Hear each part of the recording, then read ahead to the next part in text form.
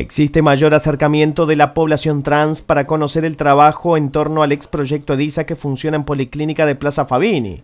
Al respecto, explicó Giselle Martínez. El trabajo se está eh, llevando a cabo, digo, eh, estamos teniendo acercamiento de, la población, este, está muy bueno está.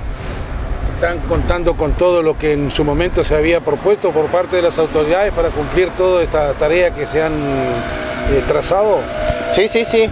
Digo, este, tenemos un médico que está siempre de guardia, digamos, a nuestra disposición por cualquier este, inconveniente que tengamos. Digo, está un médico, están los odontólogos, hay psicóloga, digo, todo lo que se propuso se, está cumpliendo, sí. ¿Hay proyectos por este año? No, digo, eh, supuestamente lo que sí habían planteado era de nosotros tener un espacio físico. Digo, pero todavía no sé en qué está eso.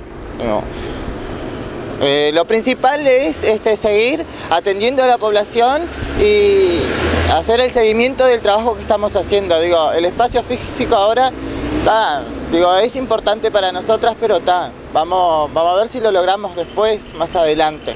¿Ya se han reunido con la señora intendente actual para conocerla y hacerle eh, conocer el proyecto de ustedes? Sí, nosotros estuvimos con ella el día de la inauguración de la Policlínica de La Fabini. Este, estuvimos hablando eh, con Ana Irriera, eh, que ah, la, actual intendente, la, otra intendenta, Patricia, este, nos pidió que nosotros, yo y mi compañero, este, cortáramos el lazo de la policlínica.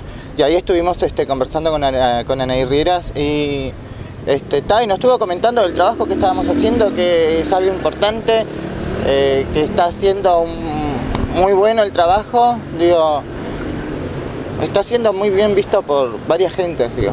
Carnaval se hizo un trabajo especial en cuanto a prevención desde la Dirección Departamental de Salud y otras instituciones. Eh, ¿Se les dio participación a ustedes? Eh, si, bueno, fue como, cómo se hizo. Sí, nosotros tuvimos participación, pero digo, ¿para qué tanta gente que no es necesario? Entonces nosotros no fuimos. Eh, la Departamental de Salud, este, en conjunto con los eh, estudiantes de enfermería, este, nos invitaron y todo, pero era mucha gente, entonces este, optamos por no ir.